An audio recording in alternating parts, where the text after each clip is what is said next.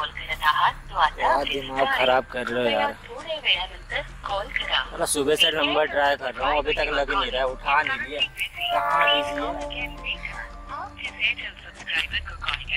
यार सब धोखेबाज होते हैं। मतलब से मतलब रखते है।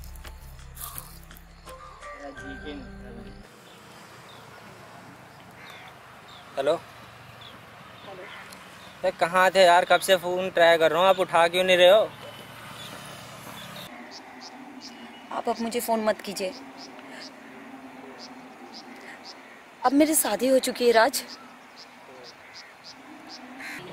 व्हाट मैंने कहा सुना नहीं आपने मेरी शादी हो चुकी है। आर यू मैड हाँ राज मेरी शादी हो चुकी है।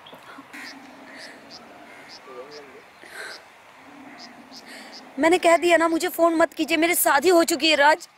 मुझे भूल जाओ अब तुम।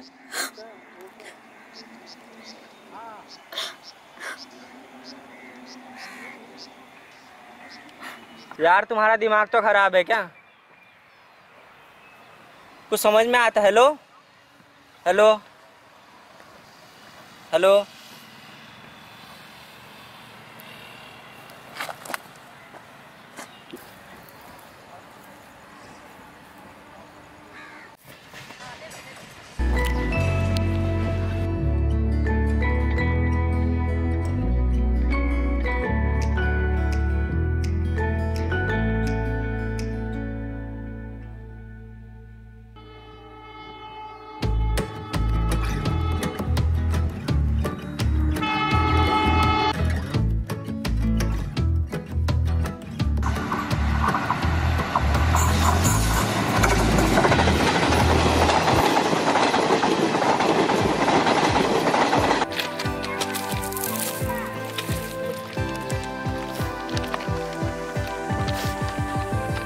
क्या करने जा रहा था यार?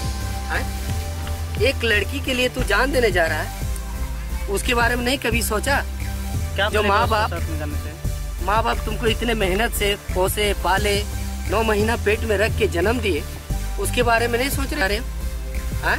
मैं बोला अभी भी बोलता हूँ तीन चीज़ के पीछे कभी नहीं जाना। पहला ट्रेन दूसरा बस तीसरा लड़की। अरे लड़की एक से एक मिलेगी यार। इधर देखो इधर लोकल ट्रेन चलता है।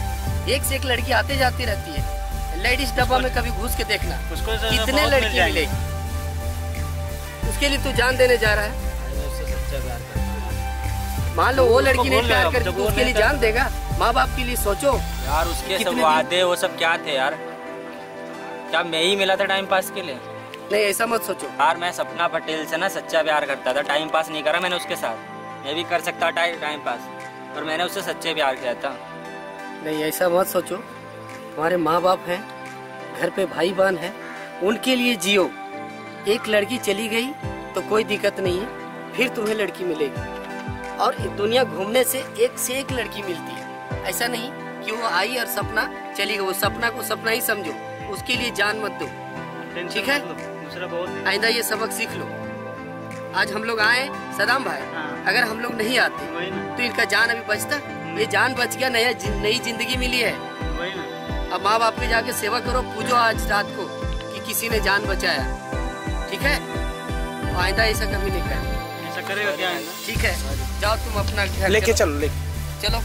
चलो चलो।